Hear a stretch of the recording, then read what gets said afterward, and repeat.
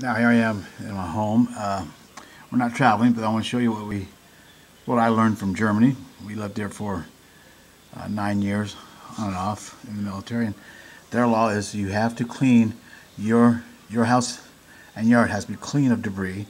And when it comes to, you have to sweep so far out into the street to keep it clean, and the sidewalks and along with your driveways, but at the same time snow too. So I did what the Germans would do, and if everybody did that, you might have a pile of snow in the middle, but at least you have enough weight you don't have to worry about, because most of the vehicles I left for work this morning were all-wheel drives.